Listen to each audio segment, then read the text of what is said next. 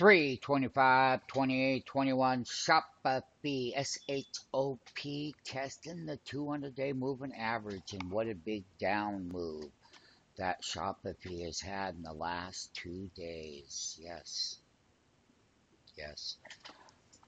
People, join optiontradingroom.com so you can avoid real big train wrecks and learn how to buy and what the dips are when it's on sale. Has a daily sell signal, minus 4.4 today. So it hasn't had one for a little while. We had them over here when we were making bottoms. So we have come much lower. Now, with that 200 day moving average, and it attempted to bounce three different times in on an intraday level as it did. Now, let's take a look at the weekly on shop. Okay, and this is the time of year that Shopee likes to do well going into April. Here, I'll take those alerts off of there just so everybody can see it. There we are. There is the 20 week moving average that it really violated on the test. And, you know, the 50 week moving average is at 1021. That would be the greatest monumental support. I'm just kidding. No, the strongest support level. And, and it would be oversold. It's oversold right now. Shop is oversold. Let's go back to the daily on shop.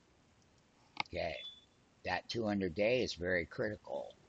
And the body of the price on the last print is 1065. And guess what? That's right there at that 200 day moving average, no matter how you look at it. Now, if they run that thing and they drop it, then we go a lot lower. Let's take a look at it on a 60 minute level. How about that? Here's a 60 minute level. You can clearly see where the rallies from the bottom up had failed and make lower lows and where we made the low, lowest lows right there, right around 1051 actually.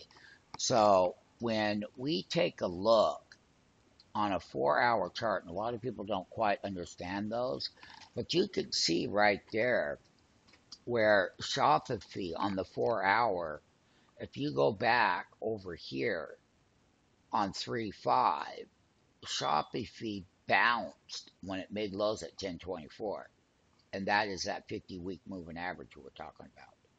Now, there is the body of that bar on 3 5. It's a four hour bar. And we are below it. When we broke below 1081, then that whole trend line that I'm showing you right there is short term resistance.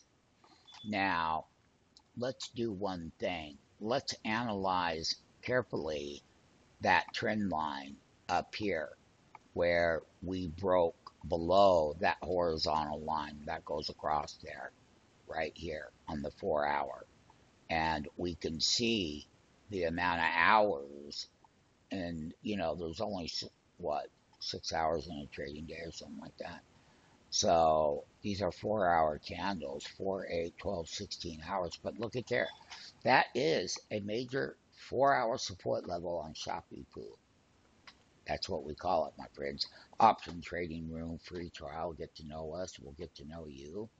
And we have managers on standby willing to work with you right now. Live trading rooms are open for you. Get the entry, get the exit, and get to be you. Once again, should we break below it, there will be a problem. That will be that resistance where that trend line is. And these are four hour minute period moving averages. Let's examine the four hour sell signal minus 4.9. Okay, let's go back over here to uh, March 5th and see what that sell signal there was when it bounced. And it did. And it was a minus 16 on that day. And this sell signal here is only minus 4.9. It's not nearly as deep. No, it's not. But let me just tell you that we are getting on a four hour level is once these sellers are out of the way, if we break this trend line, then we can, our next support level is going to be down here. That's the next major one, 1024, let's call it. Okay. But there's a shorter one right about where it's sitting at, right there. And there is. So, tomorrow, we would have to see a gap up, hold support, we would run in, we would buy, and then there are a lot of other factors that go into play. I'm not even going to have time to talk about them. But shop setting up, four hour view, back to the daily. Here we are on the daily and the 200 day moving average on shop. Sign up. You want to learn the five magical indicators? They'll wade you through the markets. Contact us. We have them all documented very well for you to use and learn. We have people that will teach you, that people I have taught, they will teach you. And they have the time and the energy to do it. And they're really good at it. So, let's get you going with those folks. Nonetheless, my friends, good luck. Resistance is going to be right there, which is 1105 and you can see where the wick is and that is the bottom of the previous day's low and there it is. Resistance.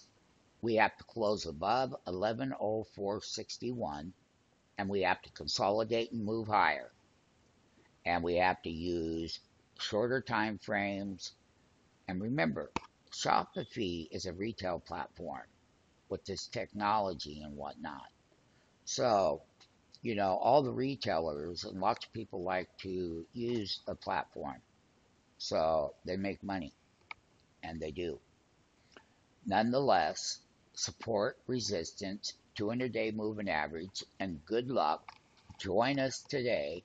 Take the right step. We're here for you. Don't wait. Don't hesitate.